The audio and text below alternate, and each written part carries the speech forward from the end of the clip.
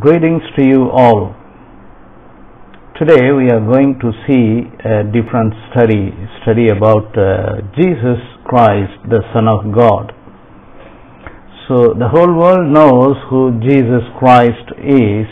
He is the Son of God, Son of Man, God. He is called Jesus and Christ. So we will see that today Christianity differs from all religion because it is more than a religion. It is the life of the Son of God made living in man. Christ is Christianity and Christianity is Christ.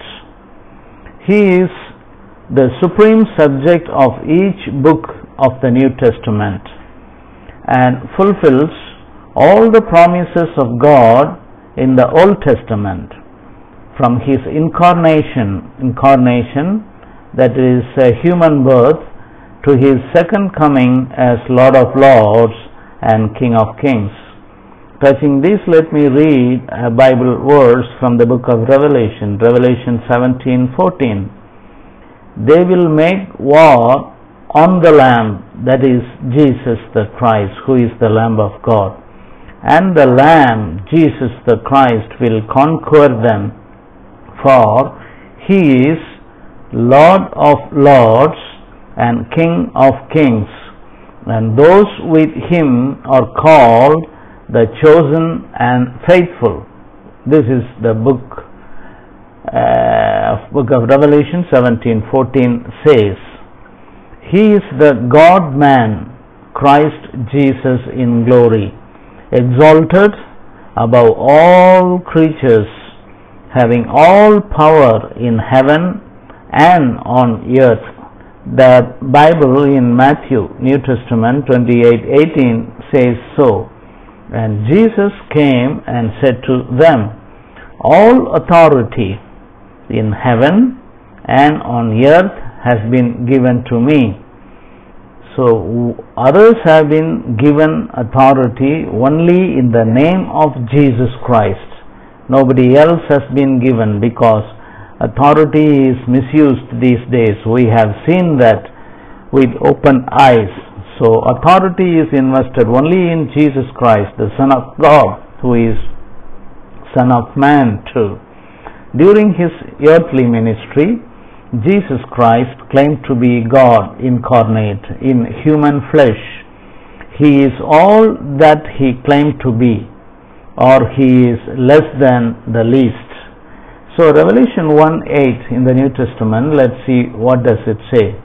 Jesus says, I am the Alpha and the Omega, or I am the beginning and the end, says the Lord God, Jesus Christ, who is and who was and who is to come, the Almighty. Jesus Christ is God the Almighty, the Bible says.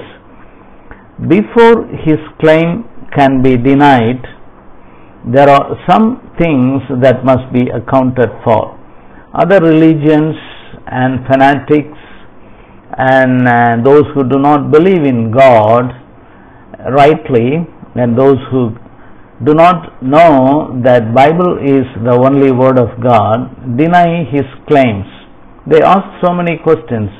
We have a multitude of religions, especially in India.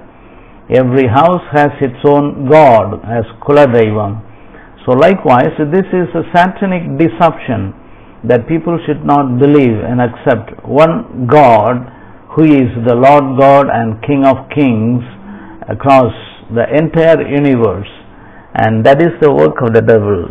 Soon the Lord Jesus Christ will wind up everything, then only all those who are faithful to Him will exist, and rest all would be cannot be annihilated. So they have been reserved a place along with the devil because they have given into the deception and to the great lie the devil was propagating upon the face of the earth.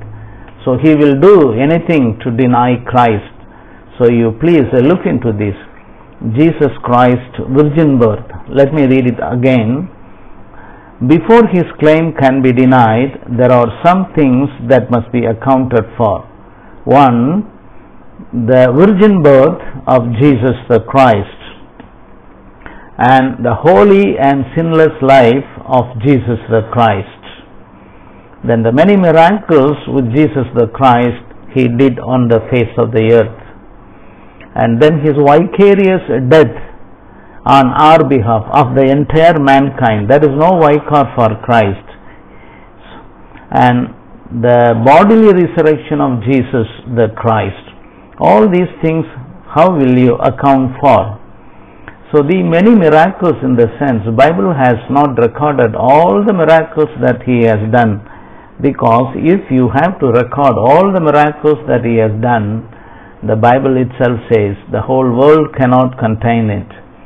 So Jesus the Christ, this is only an introduction and we will see the study, uh, it's not a detailed study, it is uh, under, under six topic we can see the deity of Jesus Christ, the humanity of Jesus Christ, the virgin birth of Jesus Christ, the death of Jesus Christ, the resurrection of Jesus Christ, the ascension and second coming of Jesus Christ. These are the six topic we will see. So this will be the introductions. All those who have not received Jesus Christ as to who he is and what he claims to be. You receive him. He is the only Lord God. He is the only way to heaven and He Himself is the Almighty God. He is the creator of the entire universe. Receive Him into your heart and stay blessed.